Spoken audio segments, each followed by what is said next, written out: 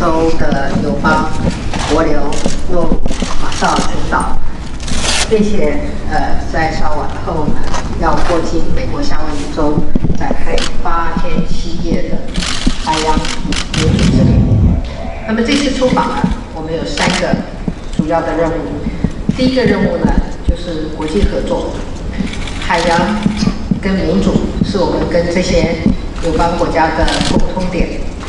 第二个任务呢，就是国际参与。这一次我们访问博流跟诺，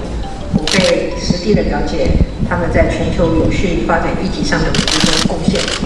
那么这一次的第三个任务呢，就是要让台湾的努力被看见，在天涯海角，无论在遥远的地方，我们的外交官、技术人员、医疗人员、商人，还有来自各领域的台湾人。